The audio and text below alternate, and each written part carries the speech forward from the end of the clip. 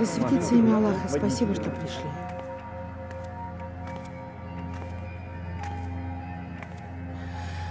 Римас.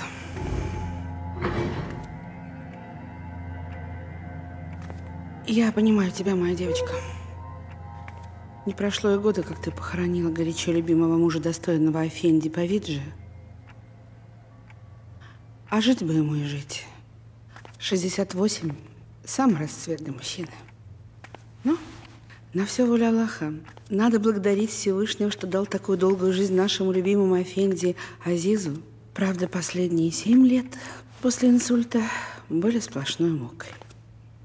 Но какое счастье, что я была с ним каждую минуту. Хватит причитать. Сядь. Да куда ж сядь? Видишь, сколько убирать надо. Да еще давать распоряжение, чтобы ничем раздали садаку. Сядь, я сказала. Или ты оглохла? Угу. Отдохну.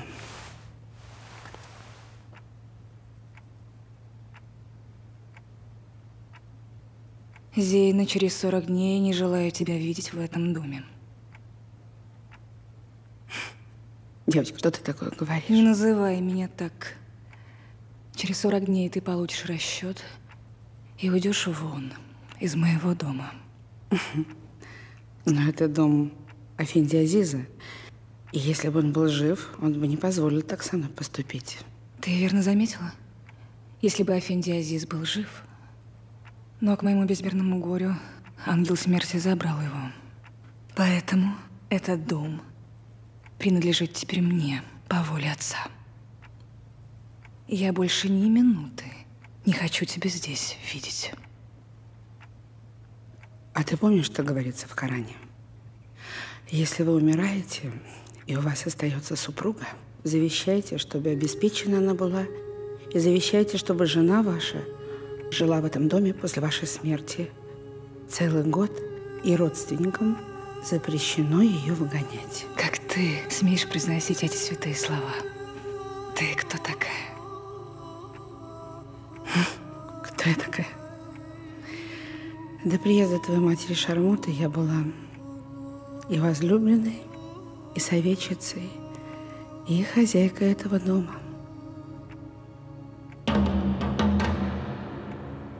Я поняла. Ах, вот почему. Ты постоянно подслушивала, ты наговаривала отцу на мать. Не зря мне мама говорила, бойся Зейны, она ядовитая-ядовитая змея. Я все годы мечтала вырвать твое жало. Наконец-то время пришло. Я его вытяну. И не смей называть мою мать проституткой, поняла? А как называть ту, которая брезгала собственным мужем? Как называть ту, для которой было мерзением рожать от него детей? Как называть ту, которая совращала весам твоего дядю? Твоего дядю. Да будет светлая его память. А когда он, сын, достойный своего отца, отказался, она совратила слугу шофера. И родилась ты. Ах ты мерзкая тварь. Тварь. А ты? А ты, Ведузина? Я не незаконно рожденная. Я дочь моего отца. Да. Дочь Армуты и раба египтянина.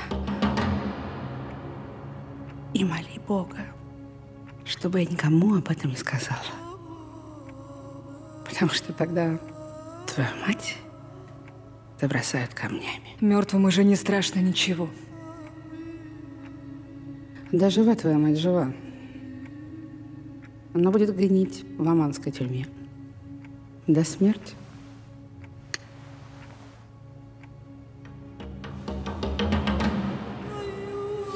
До смерти. Вот так вот, девочка.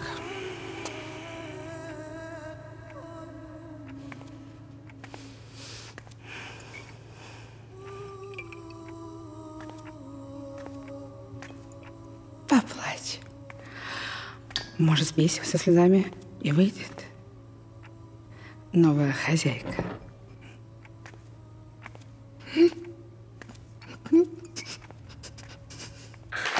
Репетируем аплодисменты. Аглая Ильинична, вы представляете? Сплошные сплетни. Доброе утро, Аглая Ильинична. Доброе утро. Субботина на гриме. Вот ведь парадоксы внешности. Приехала совершенно безликая, а в гриме глаз не отвести. Да, только 45 минут никто ее красоту любоваться не будет. История пресная, зацепиться не за что. Не считая этот эпизод с матерью в тюрьме. Вы, конечно, разленились, мои дорогие. Не себе в оправдание, но скажу, что вчера мне удалось пробраться на эту ярмарку тщеславия, пообщаться с Субботиной и выудить у нее приинтереснейшую информацию. Что она мужчина? Если бы. Но есть факт, может, не такой захватывающий, но интересный. Субботина поведала мне о человеке, который раскопал историю ее матери. Знаете, из-за чего? Из-за сережек, которые он ей подарил. Ничего не поняла. Он подарил сережки Субботиной? Нет, он подарил сережки матери Субботиной. А та, представляете, положила их в кармашек кофточки, когда бросила маленькую Субботину на вокзале в Батуми. М, Эдик, давай больше коррекции. Да, конечно. То есть этот человек был как-то связан с матерью Субботиной? Может, он и есть отец бедняжки-миллионерши? Есть история? Эм, нет, Тогда простите, мои дорогие, это просто пшик. Ошибаетесь, Аглая Ильинична. Мы упустим, чего мне стоило найти за ночь этого персонажа. Но он уже прилетел и едет к нам, согласитесь, это интрига. Невероятно. То есть вы мне предлагаете, как на минном поле, вручную нащупывать взрыватель? Все ясно. Берлагу мы запускать не будем. Денежки из моей зря платы. Ну, послушайте, когда такое было? И это несмотря на ваши постоянные фальстарты. Запускаем берлагу, им-то у него хотя бы есть? Да, конечно, еще и какое. Тарас Побегайло. Тарас Побегайло из Батуми. Это оригинально. Угу, согласна. Тарас Побегайло. Что-то знакомое. Красавица.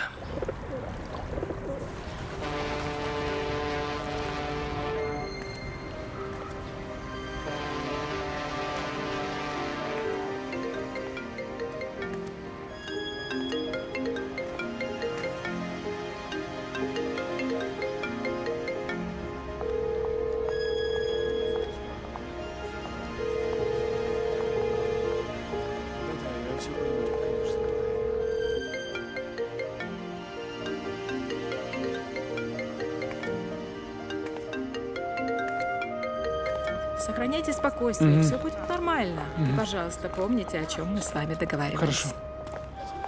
Тарас Григорьевич, знакомьтесь, Оксана Денисова, директор программы. Стержакова. Здравствуйте. А, добрый день. Добрый день. Добрый день. Очень приятно. Спасибо, что так быстро откликнулись. Надеюсь, вам у нас понравится. Эм, Вы, главное, не переживайте. ну что вы... Ладно, Прошу. сюда. Да-да.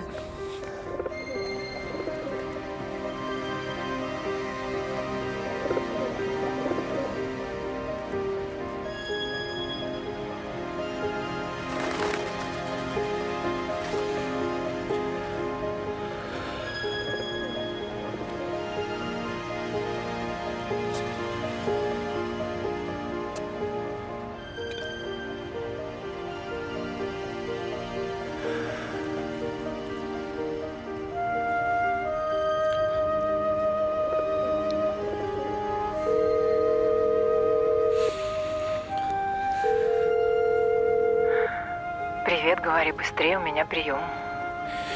Я тебя очень люблю, мам. А что это ты вдруг? Просто...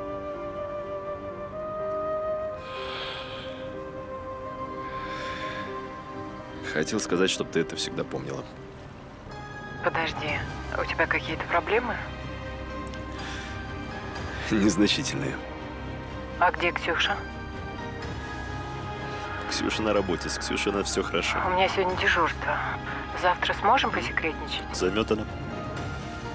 Целую. Я тебя тоже. И очень тебя люблю.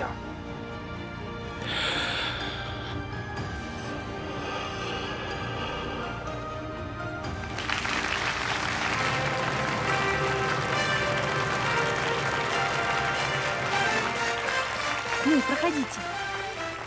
Присаживайтесь, пожалуйста. Сюда? Дорогие Всё будет хорошо. посмотрите Наташа, где гример? Наташа, а, где гример? Где наши героини? Вас сейчас да я сюда пошла. Быстро. Удачи. Давай. В туалете. Ну где ты да. ходишь? Могу себе Промокни его, блестит как солнце. Но мечтали вы о ней с детства. Девочка-сирота, воспитанница детского дома и... Тарас Григорьевич, действуем по плану, помните? На меня смотрите, пожалуйста. Действуем по плану, как договаривались. Сюрприз в конце, окей? Выживать в этом сложном С Богом. Я тоже рано потеряла маму, папу, но у меня была семья. И были теплые воспоминания, которые я до сих пор храню в своем сердце. А вас, маленькую девочку, оставили одну на вокзале. Где это было? В Батуми. Батуми? Прекрасный город. Там служил мой отец. Там его могила. Скажите, вы же потом виделись со своей мамой?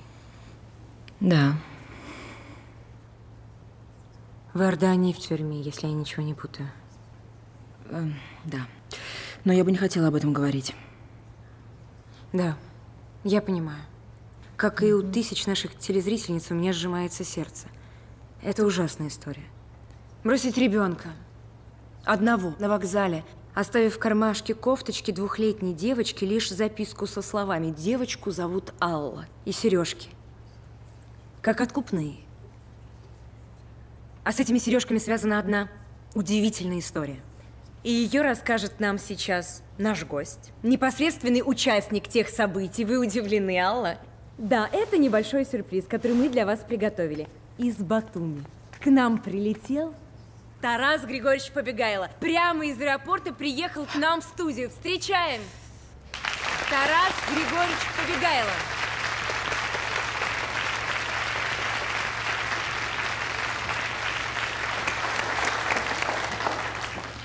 Здравствуйте. Здравствуйте, Тарас Григорьевич. Спасибо вам огромное за то, что вы так оперативно откликнулись на наше приглашение прийти. Аллочка, и стали гостем нашей программы. Ну что вы, мне очень приятно. Это вам большое спасибо.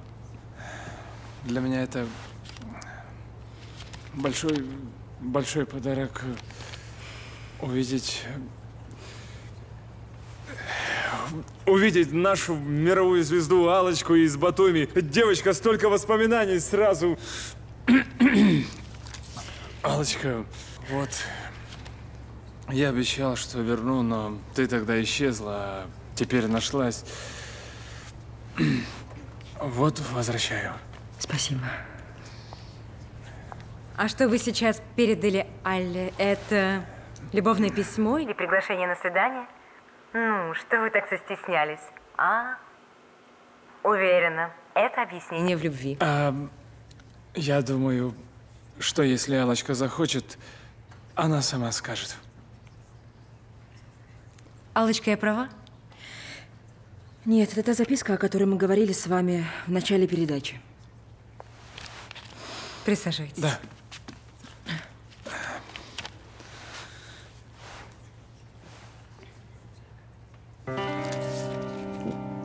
Девочку зовут Алла. Какая трагедия. Согласен с вами на все сто процентов. Да, трагедия. Это самая большая трагедия, когда родители бросают детей.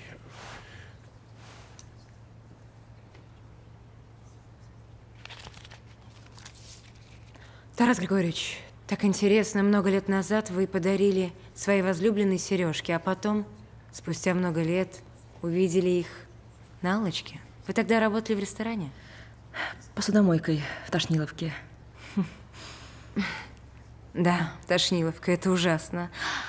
А вы тогда случайно надели эти сережки?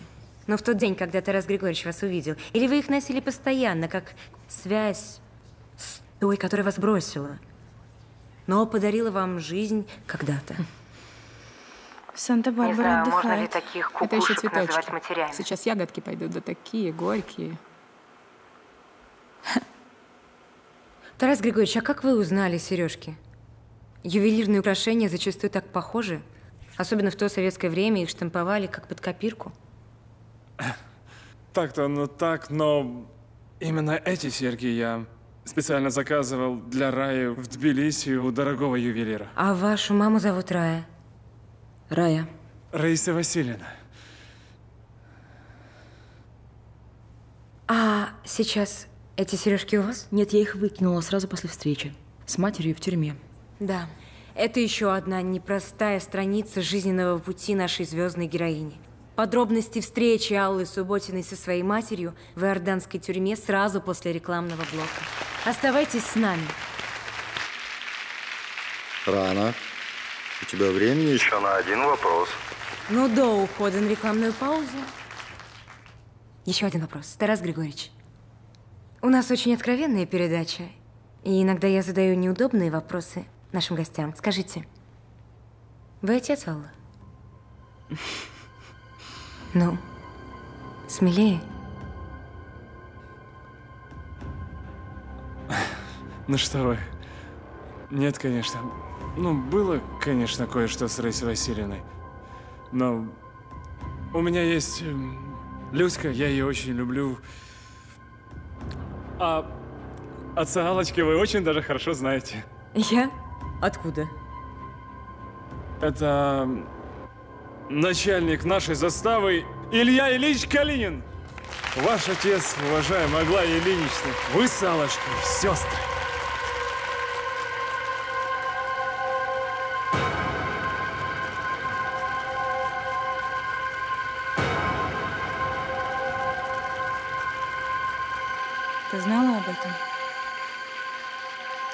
Ну, конечно. Я же это чучело нашла. Почему не предупредила? Дай, думаю, сделаю сюрприз Аглае Ильиничне. Ну, круто получилось, правда? А? Ну ты и дрянь.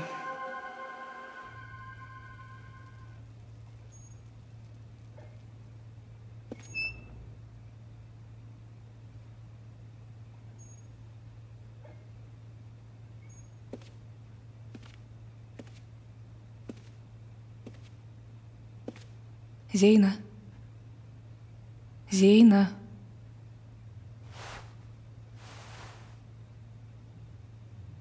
Что это? Это тебе.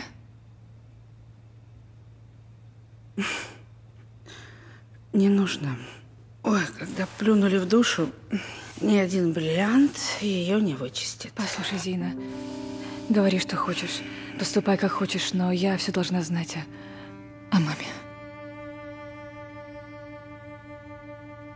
Я все сказала. Что? Все. Что твой отец нищий египтянин, что звали его Али, и что он уговорил твою мать бежать с ним в Египет. После того, как этот подлый шакал сбросил машину моего любимого Афинди в пропасть. Но Аллах спас моего господина. Правда, приковал его к постели. Но я знаю, для чего он это сделал. Для того, чтобы наказать твою мать, Шармут. Замолчи. Не закрывай мне рот. Не закрывай. Твоя мать грязная шармута. Так вот Аллах наказал ее. 15 лет выносить горшки из-под собственного мужа, мыть его, таскать на себе, и это при том, что дом полон слуг. Так, велел отец. Умная девочка. Я тебе не верю. Я не понимаю, как отец мог любить меня. Говорит, что я смысл его жизни, зная, что я... что я не его родная кровь. А он не знал, пока твоя мать не призналась. В тот злосчастный день, в тот горестный день, когда она убила Хабиби Висама. Но этого показалось ей мало. Она решила признаться, что родила тебя от этого нищеброда Али. Это добило твоего отца, и тогда его хватил удар. Азиз бы умер, если бы я не оказалась рядом. Представляешь, что было бы? Твой бы отец не порадовался бы на твоей свадьбе. Чему? Тому, что выдал меня замуж за своего друга Горбуна, а тут издевался надо мной, как хотел. И ты этому радовалась. Я знаю. Ты знаешь, какой тюрьме моя мать? Конечно, знаю, девочка. Я возила ей фотографии с твоей свадьбы.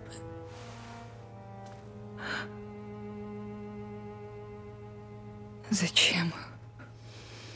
М-м-м. Так велел Азиз, чтобы она порадовалась. Порадовалась? Да.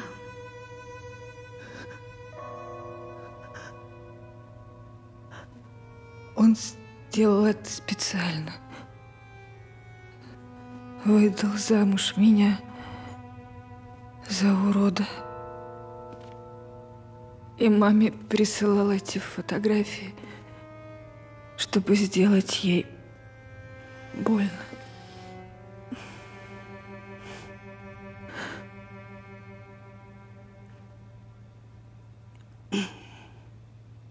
Завтра же отвезешь меня к моей матери в тюрьму. Это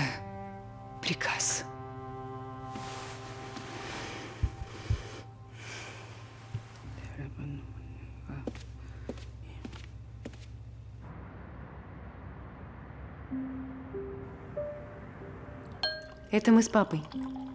Я приехала к нему на каникулы. А он о тебе ничего не рассказывал.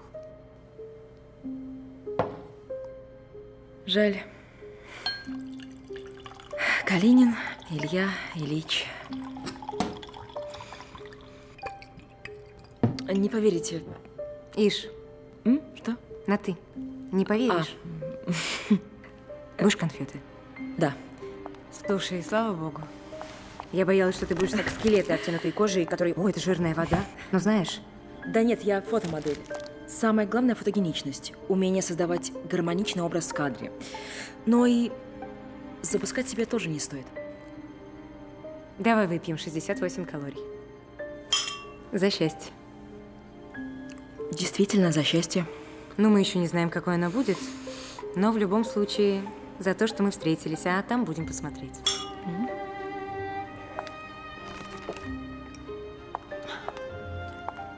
Ты не поверишь. М? Я говорю, не поверишь. 14 лет я ходила на плато, смотрела на обелиск. Просто родители моей сестры, они... Сестра эта, которая выросла с тобой в детском доме? Мария, кажется, мне говорили, что она должна была приехать, но не смогла. Да. У нее сейчас очень все сложно. Так вот, ее родители похоронены рядом с ним. С папой? Да, мне говорили, что с ним погибла какая-то молодая семья, а ребенок чудом остался жив. Да, это моя Машка. Так вот, она каждый год в дату их смерти приходит на могилу, ну и меня тащила. А я каждый раз придумывала отмазки, ну, сама понимаешь, до этого плата. Туда добираться просто... Ой, да, добираться тяжело. А я была там три года назад. Обновила таблички папе и Богдановым. А я там семь лет не была, в Батуми. А ты когда в Штаты? В 17.30 завтра. У меня съемка через три дня. А нельзя тебе эту съемку послать к чертям собачьим? Нет, что вы. Ты. Ты. Ты. Да. Там штрафы просто нереальные. Прошу прощения, я на минутку. Это моя Ксюха. Очень приятно. Твоя дочь? Нет, не совсем. У нас большая семья. Я потом тебе все расскажу. Возьмем модельку в нашу компанию. А, конечно, Аглая, я не просто так зашла. Там этот смешной мужчина побегал и говорит, что хочет отдать честь перед отъездом. Да, конечно, зови сюда нашего волшебника. У тебя все в порядке? Да, а что? Лицо как будто не, не все. Не фантазируй.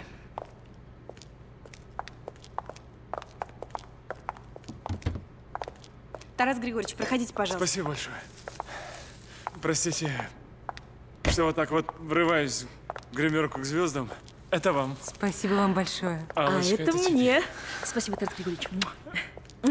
Я просто сразу с самолета в студию не успел купить цветы. Вот, решил как-то исправить ситуацию. Спасибо. Сейчас.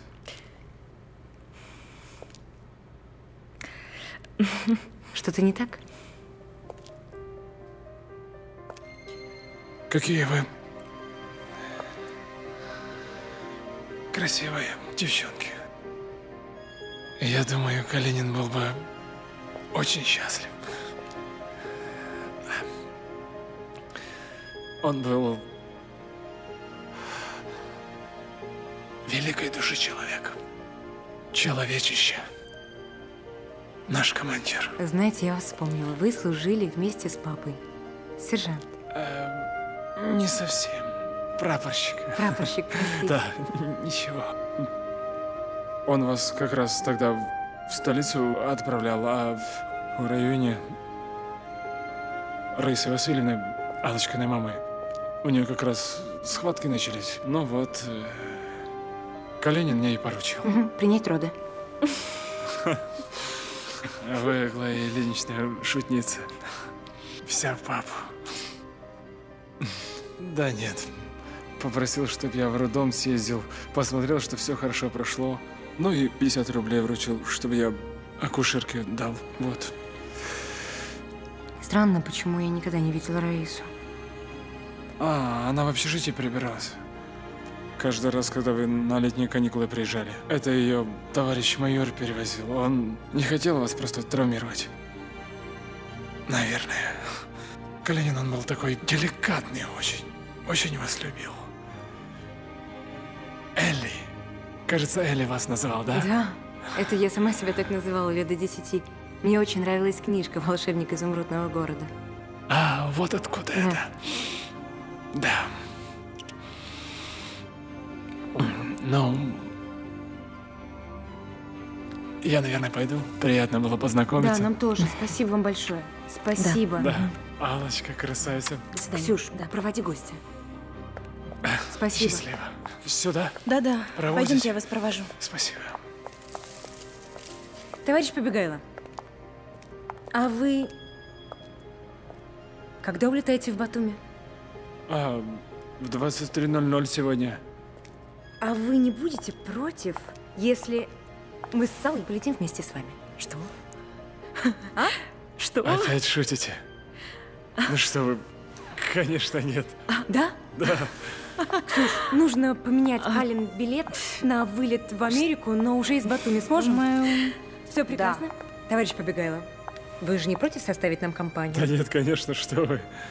Ты в отказ не пойдешь? Нет, но теперь я точно знаю, что ты моя сестра. Такая же, как и я, сумасшедшая. Слушайте, вы просто невероятный человек. Я когда Люсей не расскажу, она... Она просто не поверит. А Люська это моя жена. Жаль, что вы с ней не знакомы. Да, и с Люси вашей тоже обязательно познакомимся. Правда? Да, все непременно. Ксюш, отправь наших гостей в отель, а потом мы все вместе встретимся в аэропорту. Да. Еще Да. да? Да, все. Ну пока. Все, пока. Пока. Прошу прощения, я на секундочку. Глаша, папа в курсе? Ну, что ты собралась в вояж? Зачем? У меня завтра официальный выходной. Ты можешь мне объяснить, что происходит? Да, конечно. Сегодня я нашла собственную сестру. А два дня назад нашла брата. Аглая, ты опять начала пить. Не перебивай старших. Я нашла твоего брата. Зовут Федор. Он сын Настеньки Масловой. Помнишь ее? Все подробности ты можешь узнать у Денисова. Вот так.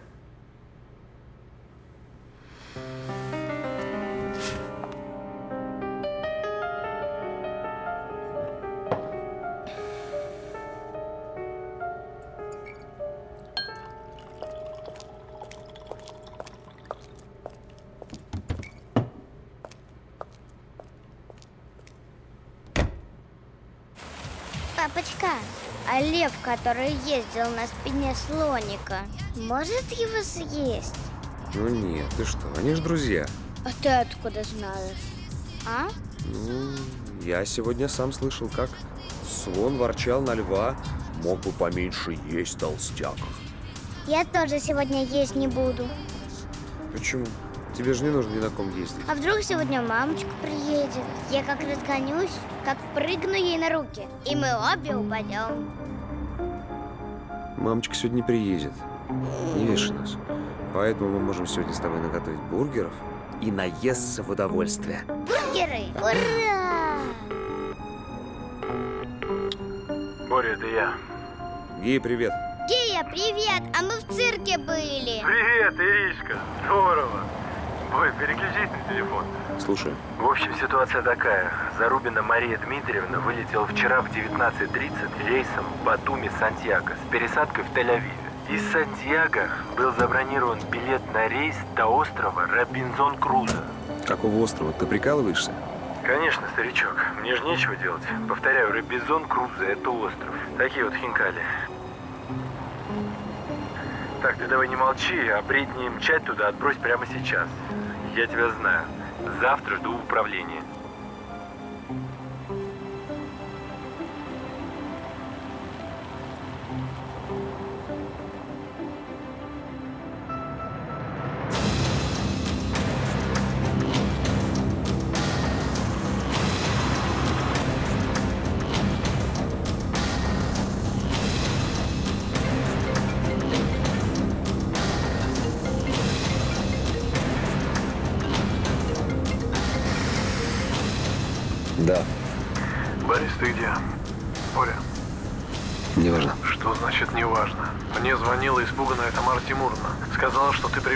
Привез домой... Ришку. Был в неадеквате. Собрал рюкзак, без всяких объяснений уехал в аэропорт. Что-то невразумительное, говоря о Маше, что та куда-то улетела. Куда? Уверен, к Огневу. Что за бред? Когда ты видел Машу в последний раз? Вчера днем. Она несла какую-то количество. Все, Катюша, что она нашла ее. Как? Как что? Мы с ней поскандалили. Потом договорились, что я вечером приду с работы, она мне все объяснит. Но сбежала. Сегодня Кия пробил воздушный маршрут моей жены. Тбилиси, Тель-Авив, Сантьяго, Робинзон Крузо. Она полетела к нему. Я лечу за ней. Я не позволю тебе сделать это. Ради собственной дочери. И во имя памяти об Ире. Ты уже один раз летал. И чем это закончилось? Я Машу ему не отдам. А теперь послушай меня. Я не верю в Бога. Но Огнев... Он дьявол. Когда умерла Ира, я нанял киллера. Мне нужна ваша помощь. Я оплачу. Чего бы мне это не стоило.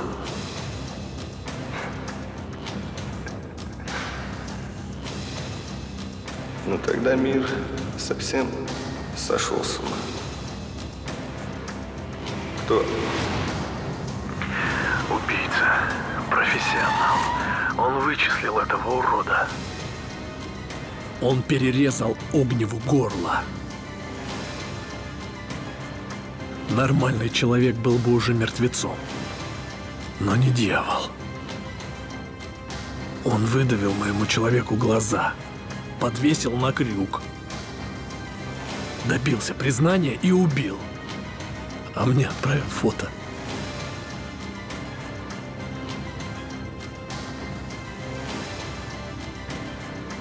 Боря. Борь, ты знаешь, где похоронены родители Маши? Почему вы... Спрашиваете об этом. Это, наверное, прозвучит странно, но я хочу съездить к ним.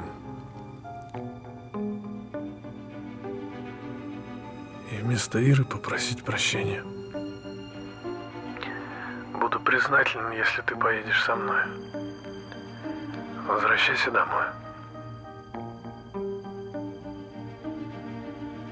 Договорились?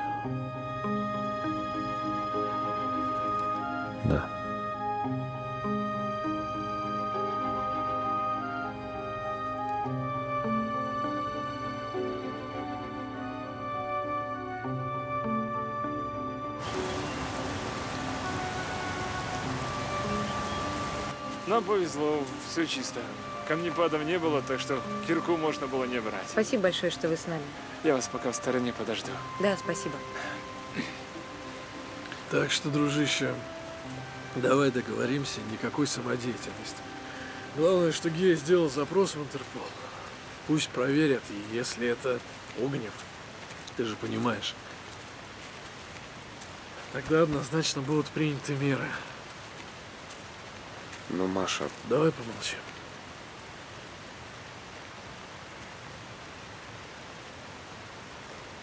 Ну, здравствуй, папочка. Прости, что так долго не приезжала, но зато и не одна. Вон, Алла, какая у тебя выросла красавица. Мог же о ней рассказать? Мы бы все эти годы были друг у друга. Вряд ли бы ты меня тогда нашла. В детдоме. Ну да.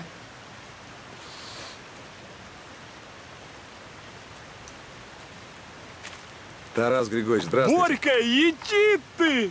Ай, красава! Сколько лет, сколько зим! Ах, да я тебя обниму! А я тут привез как раз дочь и Ильича. Кошмар, Борька. Ал, ты о чем? Если Машка ему не сказала, я ее точно убью. Ал! С вами обнимемся, если вы не против. Борька! Никита Сергеевич, я прапорщик Побегала. Мы с вами познакомились на похоронах Ирины. Сергеевны, я еще рассказывал, как наша голубка пела. Да, я Помните? секунду к вам залетала. Правда, столько лет прошло. Тарас, конечно, помню. Рад тебя видеть. На самолет нужно было. Я на ток-шоу летала. Взаимно. Ты даже не А я вот что привез гостя из столицы. Никита Сергеевич, здравствуйте. Рада вас видеть. Добрый день. Не верится, что 7 лет прошло. Вы, наверное, меня не Добрый помните. Я Алла Субботина. Ирина Сергеевна еще знакомила нас, когда я у нее жила. Ну, конечно, я тебя помню. Правда, ты так внезапно тихо собралась, уехала. Ира еще очень переживала по этому поводу. А, да, Ирина, она такая была, переживательная. Рад видеть. Добрый день. Простите, мы можем идти, Ал? Ой, друзья, извините, я же вас не познакомил. Э, Давайте, Аглая Ильинична, с вас начнем. Аглая Калинина. Здрасте, очень приятно. Шумаков, Никита. А Аллочка оказалась дочкой Ильи Ильича. Борис, А, я знал вашего отца. Он с моей мамой пел дуэтом на празднике на Простите, я... ну да. Очень приятно. Мгм. Ал, можно тебя на минутку? Да.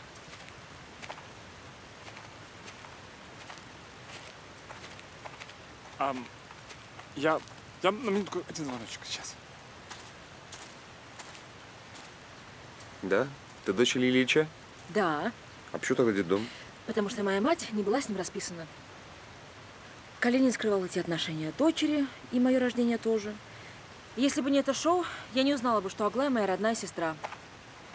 Но тебя ведь не это интересует. Вообще да. Откуда Маша узнала, что Огнев в Чили? А что, она с тобой не поговорила? Нет. Она собрала вещи и умчала, пока я был на работе. Гия вычислил ее маршрут через Интерпол. А что, Гия теперь с Интерполом на «ты»? Давай быстренько накрывай на стол. Я тут с такими людьми приеду. Ты, Люсь, ну, чё? Ну, что ты начинаешь? Ну, Люся, ну не гони ты волну. Я даю тебе билет. Маша? Почти. Страшная трагедия. Самое ужасное, что случайное. Папе было 50, а они совсем молодые. Правда, и 50 – это не возраст.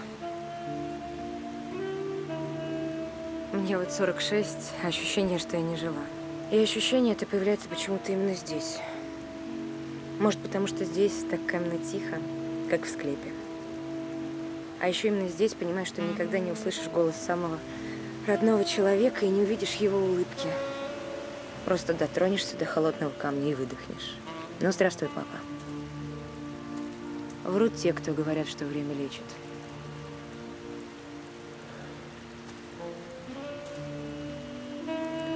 Время не лечит. Оно подводит к равнодушию. Оно убивает все, то, что нам так дорого. Никита Шумаков, вы любите Вишневского? Вы знаете, меня коробит от такого высказывания. Читаю, нравится, воспринимаю. Да, можете не продолжать, у меня IQ 200. Мгм. Я люблю читать Вишневского. Всегда, когда приезжаю сюда на могилу к отцу, в последнее время все реже, вспоминаю слова о родителях. Всегда думают, что они будут жить очень долго. И когда те вдруг уходят, невысказанным остается самое важное, что мы откладываем на потом. Так, друзья, у меня для вас есть радостная новость. Все едем ко мне. Люська уже, кстати, на стол накрывает. Выпьем, поменем, повспоминаем, улыбнемся. В общем, согласна, Аглая Ильинична? Да. Тем более такой повод есть. Сестры Дорогой нашли друг Ильич, друга. очень приятно было познакомиться, но я, я, пожалуй, пойду. Пойдемте, пойдемте, пойдемте. Все за мной. Никита, не бросайте меня, пожалуйста. Это какая-то круговая порука незнакомых мне людей. И даже Алла. Она с вами хоть Вишневский объединяет.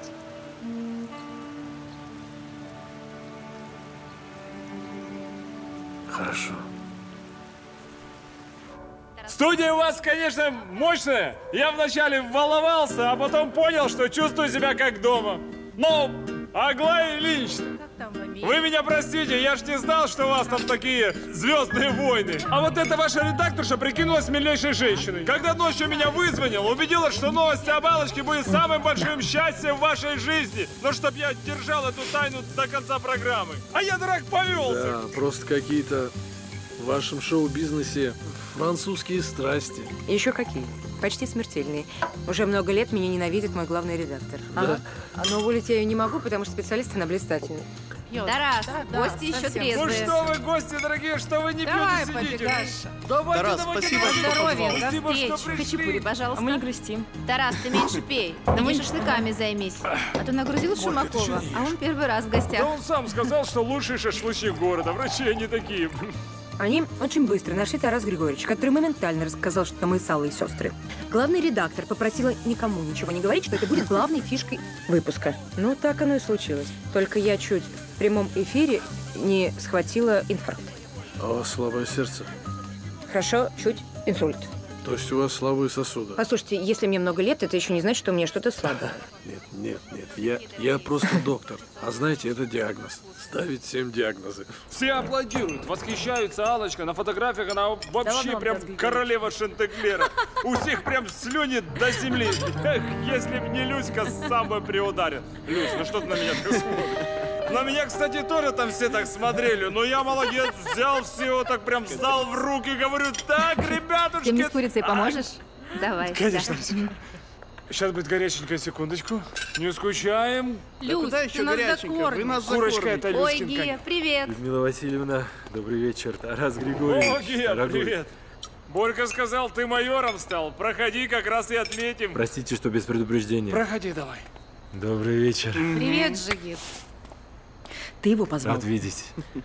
Он позвонил мне по делу, а я сказал, где я. Как Нане жалко. Да, мама была бы рада. Орел, орел. Прекрасно выглядите. Мне кажется, все довольны. Ух ты моя богиня. Люсь, сыр ваш? Спасибо. Гея, тысячу лет тебя не видела. Молодец, что пришел. Присаживайся. Спасибо. Курочка, только Пока сегодня еще кукарекала. Здравствуй, Алла. Кому ножку, кому крылышко. Отлично выглядишь. Взаимно отлично выглядишь. Возмужал. Спасибо. А где у вас можно руки помыть? Наверху. Э, Борь, можно тебя на пару слов?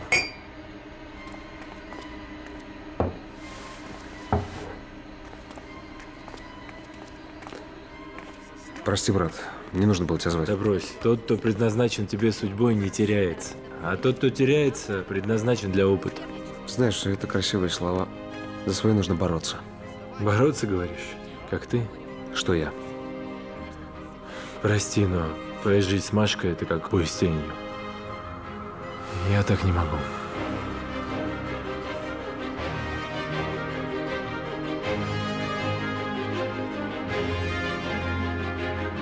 Ты для этого меня звал? Ладно. Ни один человек по фамилии Огнев на острове не обнаружен. Но в прошлом году приехал один тип с дочкой. Зовут сеньор Фуэго. В переводе с испанского это означает огонь.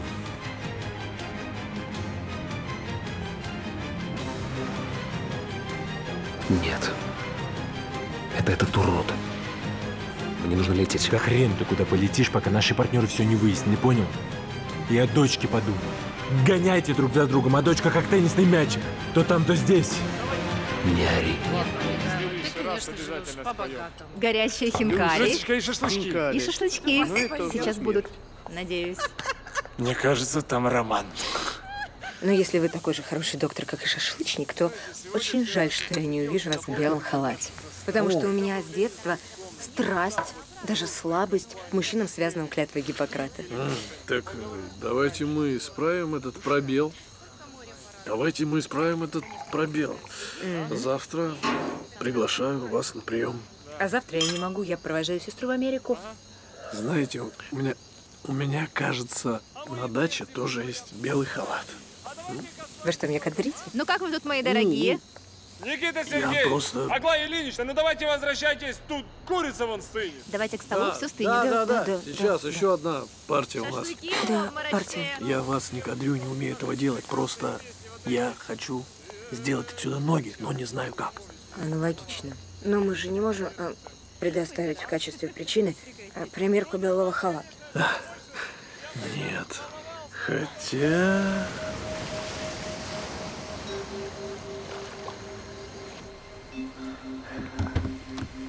Проходи.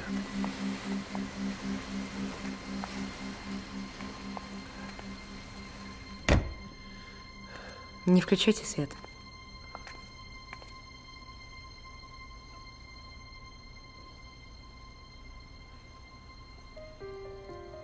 Как там у нашего с вами друга Вишневского? Женщины чаще всего знают, чего хотят после первого секса. Но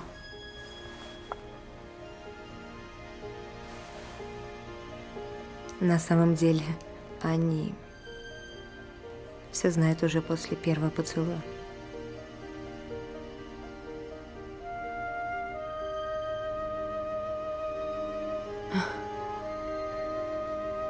Я хочу, чтобы ты меня поцеловал прямо сейчас.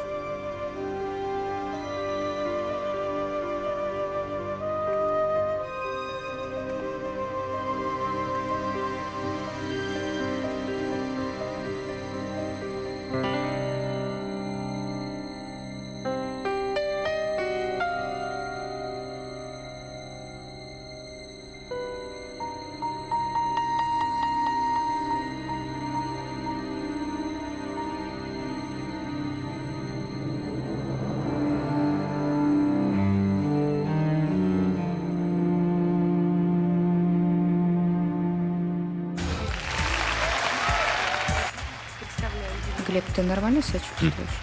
Так, закругляемся, эфир через минуту. Не сказала бы, такие темные круги под глазами. Тише. Ты хочешь, чтобы все скорые города были подняты по тревоге? Не хочу. Но выглядишь неважнецки. Да. Простыл, наверное. Все, готов, красавчик. Спасибо.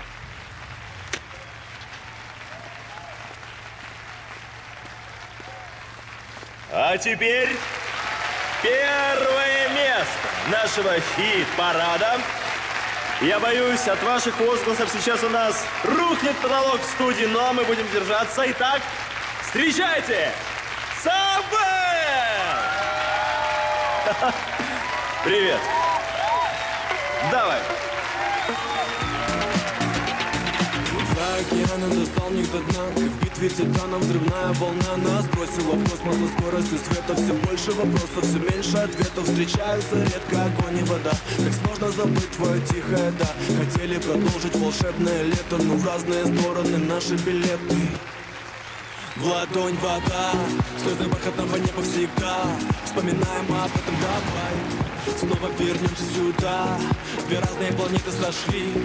За свои орбиты тебя. Во мне 4 литра моем ДНК. Мне снова часто снится, снится Где я смог в тебя влюбиться. Не могу остановиться Не могу открыть глаза. Снова часто снится, снится Где я смог в тебя влюбиться. Не могу теперь не спиться После стольких дней тебя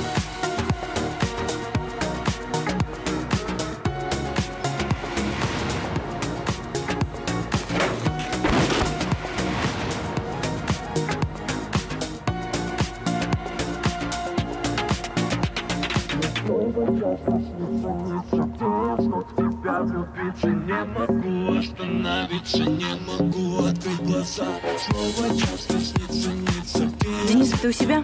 Нет, у нас все хорошо. Сам был на сцене, фан в припадке. Глеб пока отдыхает, а мне нужно... Ксения Ивановна, Глеб не дышит!